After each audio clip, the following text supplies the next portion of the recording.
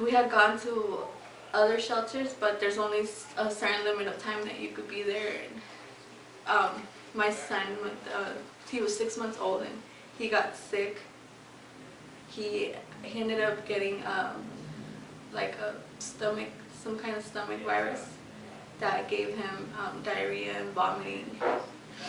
And he became very severely dehydrated. He had to get um, admitted into UMC, and he was just on the brink of death. Like, um, my other the, my other kids got sick too, but they're just older, so it it went away on its own. Um, once we tried to go back to the shelters, they they didn't have any room because they were so full, so we ended up sleeping on the street twice. A guy comes up to us and he asked us if we had like any change or any money or anything because he was hungry. And then we told him, well, you know what, we don't have anything because we're in the same situation that you are. And my husband told him, well, um, I have uh, some food stamps. If you're hungry, you know, we could walk over to AMPM and I'll get you something to eat.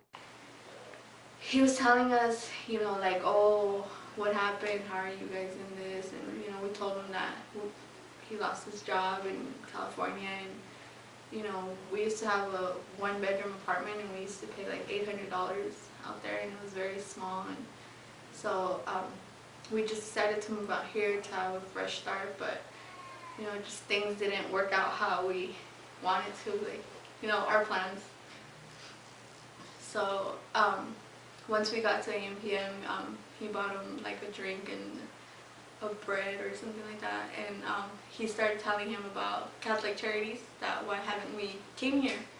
And we're like well we don't know what that is like we've never heard of that program or anything. He's like oh well yeah it's down on Las Vegas Boulevard and um, they help you sometimes they help you with shelter and they help you with food and we're like oh like um, do you know how to get there and he's like yeah you guys just gotta take the 113 He's like, you guys gotta go to the to Bonneville Transit and then go to the 113. I'm like, is that far or is it in walking distance? And he was like, no, it's it's far. So we're like, oh, so how are we gonna get there with the kids?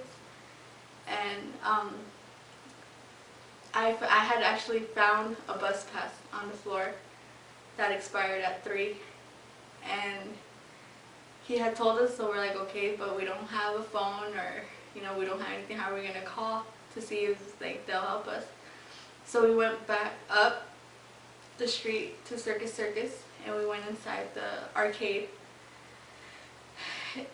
And we were looking under the machines for like quarters and it's so amazing because my kids like just got the point. Like at first they're like what are you doing? And we're like well we're looking for quarters.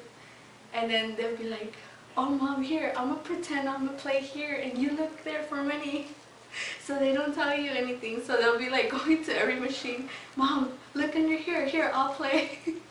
And like they'll just pretend and it was like so i i just wanted to cry but at the same time like i just felt blessed that they understood. And then we found enough quarters and i called and Ellen answered the phone. You know, I told her our situation on the phone. She was like, well, you know, I'll, I'll try to help you guys. You guys just gotta make it here by 3.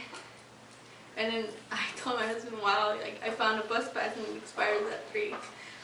And, but it was only one, and, you know, we have to pay for two fares for him.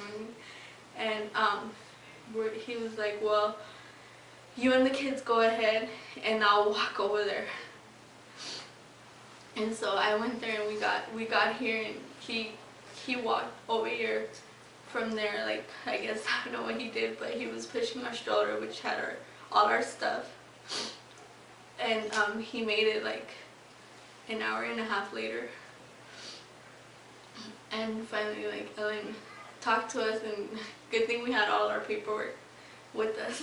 The first thing that she did um, she got us a shelter at the Best Western for a 30 day stay. And um, yeah, my husband started crying. He doesn't cry, but he cried at home at the hotel in private. Thankfully, we just, we found you guys, and you guys were able to help us. And you know, now my husband has a stable job. We have a stable place to live for our kids. You know, everything's things couldn't be better. Like both me and him come from you know broken homes, you know backgrounds where things like this don't happen to people. You know, it's just it's just amazing. Like there's no words to explain. You know now we used to live like a certain way. Now me and my husband see things so different. Being on the street with the kids, like I was telling them that in the night, you know, in the cold, and we would like see police or helicopters, and we used to pray like to God, like make us invisible. Like we don't want nobody to see us because we don't want nobody to take away our kids. You know, and I used to hug the baby because it was so cold at night. And like I was, me and my husband say like, you know, like why, why did we end up like this? Like how?